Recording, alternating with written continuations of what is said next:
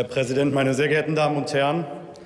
Herr Seehofer, Sie sagen, die Bundesregierung hat in einem halben Jahr hervorragende Arbeit geleistet.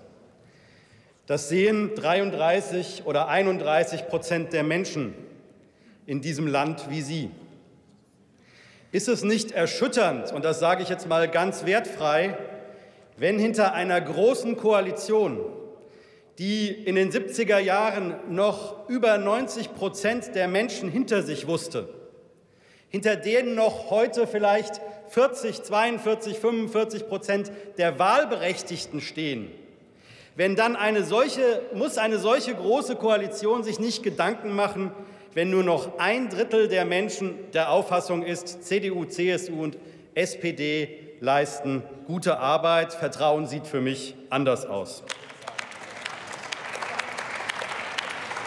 Ich erlebe Sie oft als Mensch, der dieser Frage durchaus nachgeht. In Ihrem Artikel über Heimat, wir hätten viel über, über Digitalisierung gesprochen, aber Sie haben gesagt, Heimat, Zusammenhalt, Gemeinsinn, wie entsteht so etwas? Und diese Fragen sind zurechtgestellt.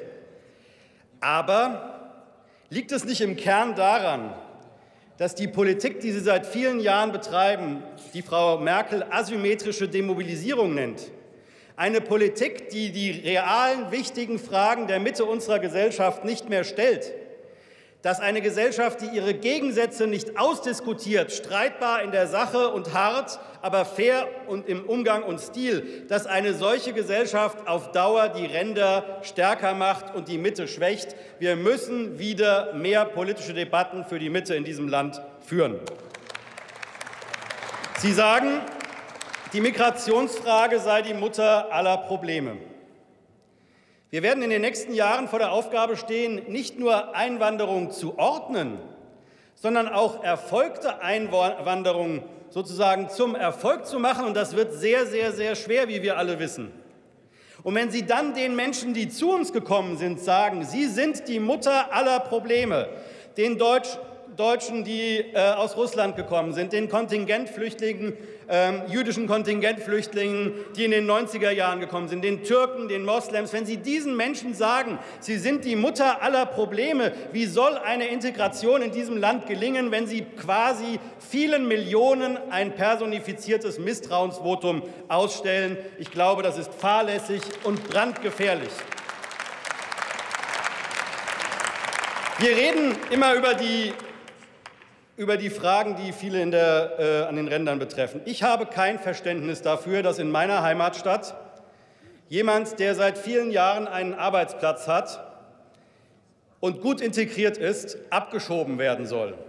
Und ich habe kein Verständnis, dass im gleichen Gegenzug ein Gefährder, nämlich Sami A., gegebenenfalls, weil Sie es unterlassen haben, eine entsprechende Aktivität zu entfalten, gegebenenfalls in unser Land wieder zurückgeholt werden muss. Das versteht niemand. Ein integrierter Arbeitnehmer muss gehen. Ein Gefährder für Leib und äh, Leben von vielen Menschen muss zurückgeholt werden. Das ist doch ein Irrsinn und kann keinem erklärt werden.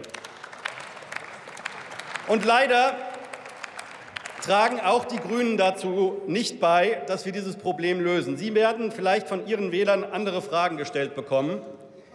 Aber ja, deswegen habe ich auch den ersten Teil so gestaltet, dass ich diesen Applaus bekommen habe. Aber ähm, man muss mal sagen, versteht irgendein Mensch, dass trotz der Prüfung, die im Einzelfall erfolgen kann, die Grünen sagen, Tunesien ist kein sicheres Herkunftsland. Offen gesagt, untergräbt das das Vertrauen in unsere Gesellschaft, was die Grünen im Bundesrat an dieser Stelle tun. Ich habe null Verständnis dafür. Ich habe, ich habe Herrn Maaßen seit 2012 immer als jemanden erlebt, der gerne parlamentarischer Staatssekretär der CSU-CDU gewesen wäre. So hat er sein Amt ausgeübt mit einem politischen Überschuss. Man hat sich immer schlechter informiert gefühlt, wenn man nicht einer Partei angehört hat, die äh, seine Partei war. Und insofern habe ich seit langem nicht das Vertrauen, dass er wie ein Behördenleiter sozusagen mit preußischem Amtsethos alle gleichmäßig informiert. Er hat ein politisches Programm und er unterlässt es, Vertrauen in diese wichtige Behörde aufrechtzuerhalten oder wiederherzustellen. Und das bedauere ich sehr. Am Ende ein Wort noch zu Herrn Corio. Ich mache mir eigentlich zum Vorsatz, darüber nichts zu sagen. Aber wer sagt, 1915 oder 1914 sei die eigentliche Urkatastrophe der deutschen Geschichte im 20. Jahrhundert, der lässt etwas aus und der vermittelt mir den Eindruck, der sagt, ja, vielleicht für mich kann ich Ihnen sagen, ist der Erste Weltkrieg eine Urkatastrophe, aber der Zweite Weltkrieg und der Holocaust ist die eigentliche Urkatastrophe der deutschen Geschichte. Und wenn Sie solche Sätze mit einer gewissen freudigen Erregung sagen, dann weiß ich, dass nach Ihrer stillen Revolution meine Werte in diesem Land nichts mehr bedeuten. Ich hoffe, es kommt niemals dazu, dass Sie diese Werte dann durchsetzen. Ihre Revolution stößt auf unseren Widerstand. Vielen Dank.